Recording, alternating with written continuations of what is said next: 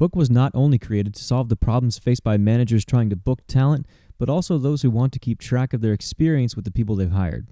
Our solution to this problem is a simple yet effective notes and tags system. It's important to note that the notes and tags you add to each freelancer's profile are private and only viewable by you, so the rest of the industry or the freelancer they're written about will not have access to this information. To add a note, simply navigate to the freelancer's profile page, click on the Notes tab, and then click Edit. Then enter any details you'd like and click Save. Tags are also a useful way to find talent and refine a search. To add a tag, click the Edit button next to Tag. Then, type the tag's title and click the plus sign to add it to the user's profile. The best tags are shortened to the point, so we've made it easier to enter several at a time. Once you have all of your tags entered, click Save and they'll be added to the user's profile.